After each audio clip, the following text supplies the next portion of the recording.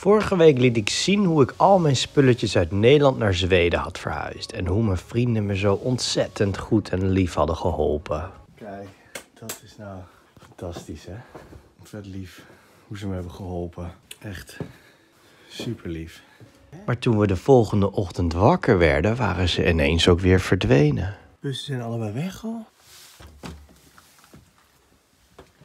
Ze zijn allebei al weg.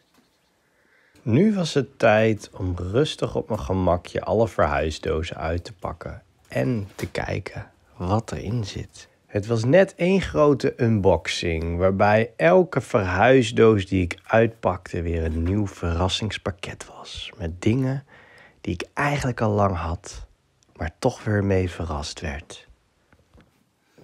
Muziekinstrumentjes, een fluitje.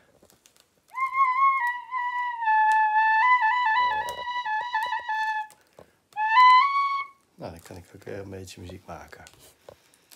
Mooie muziek voor onder de vlogs. En nog twee fluitjes. Deze klinkt ook heel mooi.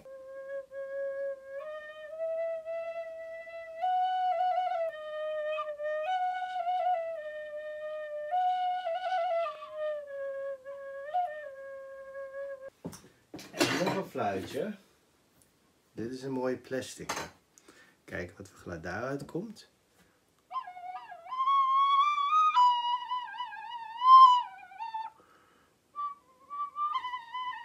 Nou, dat is niet echt uh, heel bijzonder meer.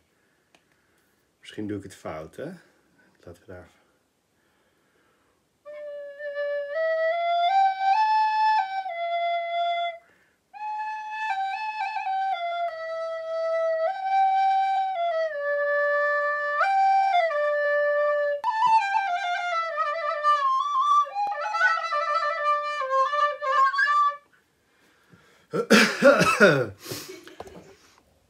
Nou, en dan hebben we hier nog uh, synthesizer. En dit kan allemaal. Een hoekje boven. Wil ik een heel muziekkamertje gaan maken. Dus kan ik allemaal mooie rechtenvrije muziek maken. En dan uh, heb ik daar nooit meer problemen mee. Kijk, het is nog steeds vet koud. We zitten hier allebei met een jas aan. Want dit is het enige kacheltje die er is. En dat is eigenlijk om te koken. Maar dat is lang niet genoeg. En ik heb een soort centrale verwarming. Dat is die. Maar die moet nog uh, aangesloten worden. Door een loodgieter. Want we weten nog niet of deze werkt. En die andere centrale verwarmingen. Als dat gaat werken, dan kan ik het wel echt heel lekker aangenaam krijgen, denk ik. Hier ook eentje. Maar ja, dat is allemaal maar hopen natuurlijk. Want ze konden er, toen ik het huis kocht, konden ze er niks over zeggen. Dus dat is echt een beetje een gok geweest van uh, of dat het allemaal doet en zo. Het gaat om een cv op hout. Dus dat zou natuurlijk fantastisch zijn als ik een centrale verwarming op hout kan stoken. Maar ik moet nog even wachten op de loodgieter die over een paar dagen de boel hopelijk komt fixen. En zo niet, dan heb ik een probleem. Want het is nu nog zo koud dat ik binnen wolkjes kan blazen.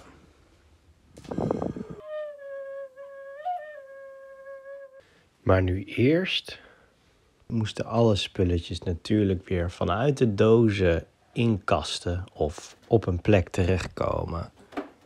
Ik wilde eerst boven in een kamertje een aantal boekenkasten neerzetten om gewoon alle boeken in te dumpen. Als ze maar even wegstaan kan ik ze later wel op orde brengen.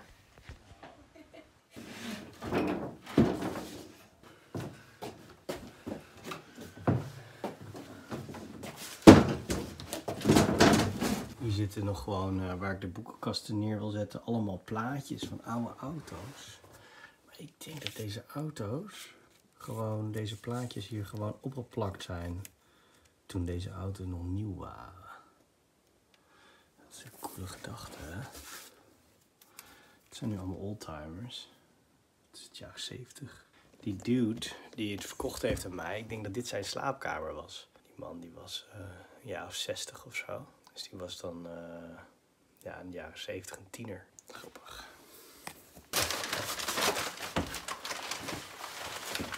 Een beetje lastig, ja. Nu de kasten klaarstaan om de boeken in te zetten, ga ik met Shana even een paddenstoelenzoek boswandeling maken. We zijn even paddenstoeltjes aan het plukken. En eh, in de wandeling zien we ineens dit. Weten jullie wat dit is? Ik heb het idee dat het iets is voor elanden, om elanden te lokken of zo. Misschien aas. Dan gaan ze daar het hutje.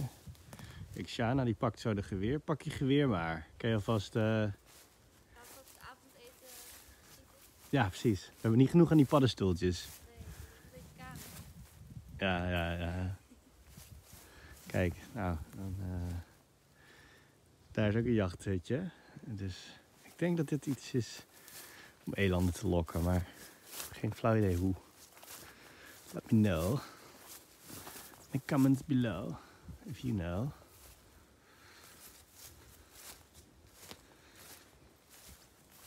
Shana is wat plaatjes aan het schieten.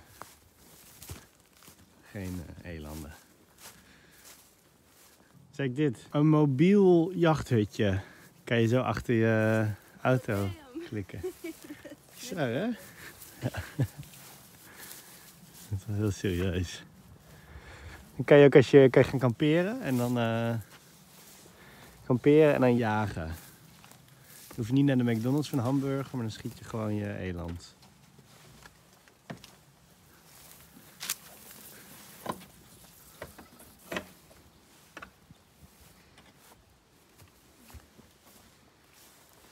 Erin.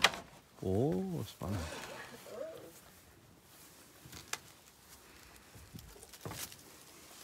Fijn. Gezellig. Ah. Ja. Grappig, ja. Beetje luguber.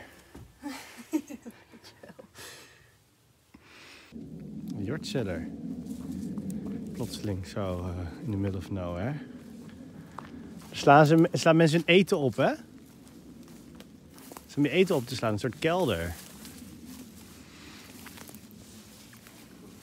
Daar kan je een ondergrondse hut eh, van maken als je van een beetje risico houdt.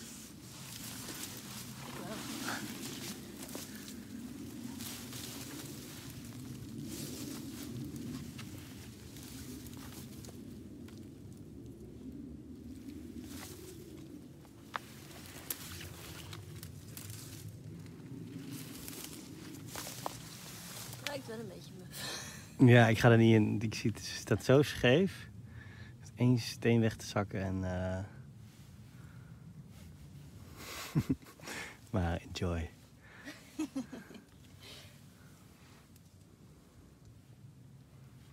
ga het wel even ruiken.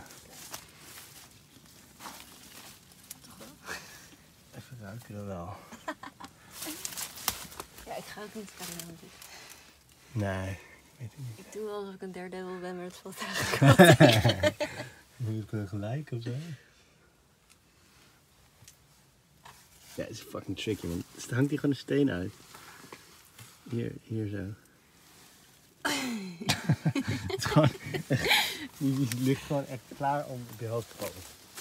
Ja, dat is nog een kleintje.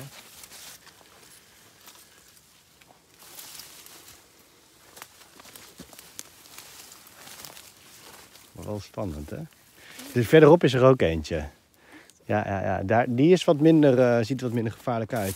Daar zat ik ook wel over te denken om, daar, om die een keer op te bouwen. En om daar echt een hut van te bouwen. Dat is wel heel vet zijn. Ja. Maar ik wist niet dat er eh, zoveel gewoon random staan en zo.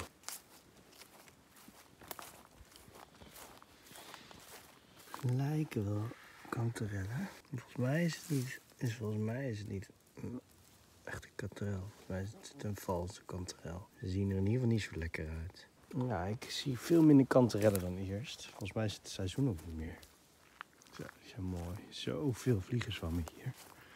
Echt niet normaal. Die valt meest op, hè? Velrood. Kijk eens even aan.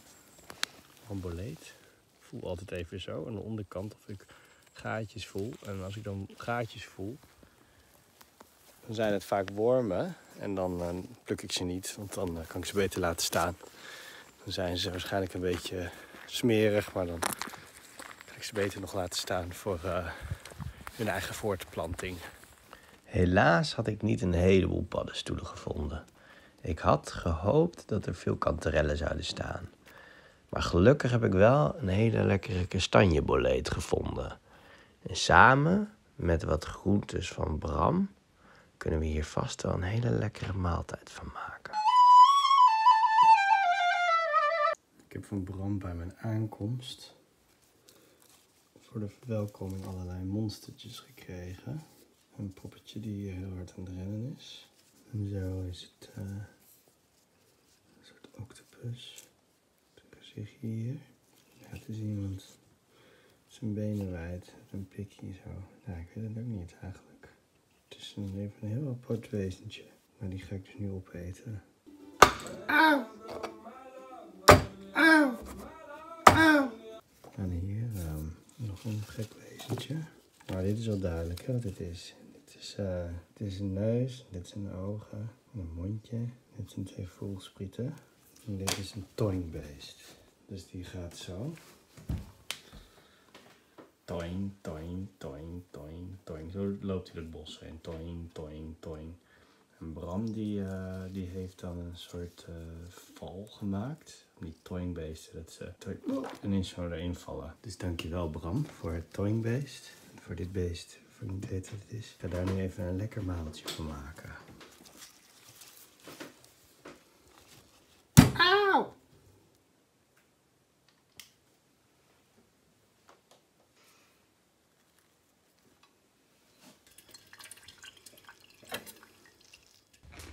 Gelukkig hadden we naast deze paddenstoelen dus ook al die toingbeestjes en andere beestjes van Bram gekregen. Want op de een of andere manier waren er toch wat minder paddenstoelen dan dat ik normaal zie. Maar het was alles bij elkaar wel een super lekker maaltje uiteindelijk met die boleten er doorheen.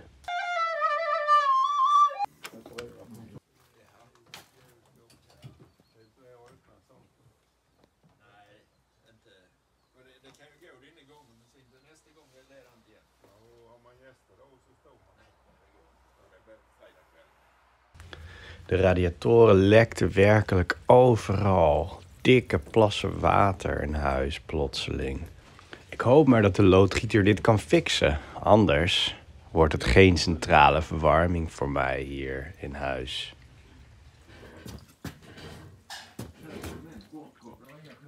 En nu bij de verhuisdozen. Die onderste verhuisdoos, die zit in water.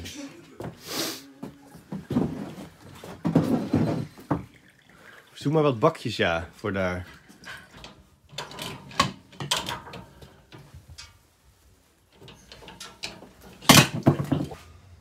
Deze buis hier binnen is nu al warm.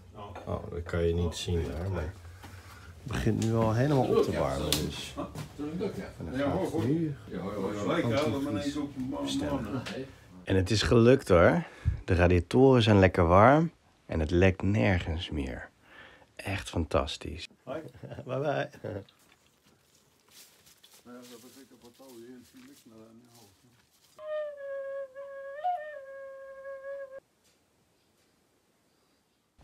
Er ligt nog steeds een heleboel zooi in huis waar ik vanaf wil. Vooral oude bankstellen, waarvan ik eerst dacht dat het wel iets heel bijzonders was. Maar als je er dan een tijdje mee zit, dan kom je er toch achter.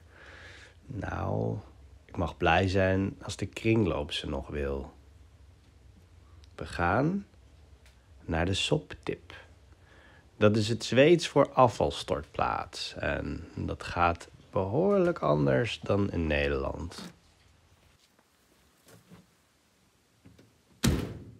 Ik ga naar de soptip in Oseda. En hier zijn de mensen niet zo heel erg kieskeurig over hoe je het afval scheidt. Ze staan er wel bij, maar ze kijken liever op hun telefoon dan mee met waar je wat heen gooit. Maar wat wel heel belangrijk is, is wat de koning van Soptip ervan vindt. Dat is een aap en die hangt aan een paal. En die kijkt met een kritisch oog mee met hoe de mensen hun afval scheiden.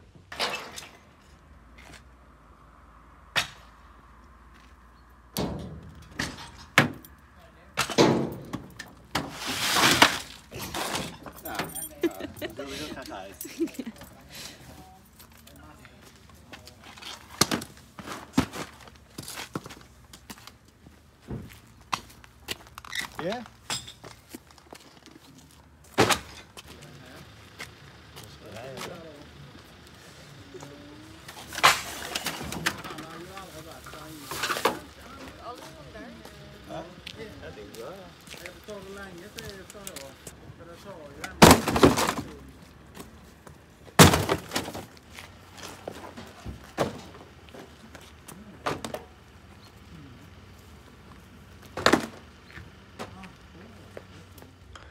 Hoop dat koning Soptip vindt dat we het goed hebben gedaan. Ik denk het wel.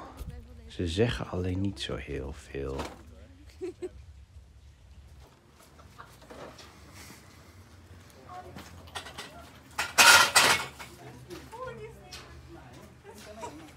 Var jag skulle säga?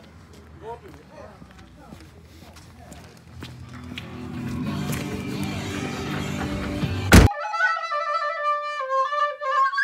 Wil jij ook, net als ik, meer gevoelens van geluk in je leven? Ga dan naar mijn webshop en koop iets moois voor jezelf van mijn kunstwerkjes. DanielDouglas.nl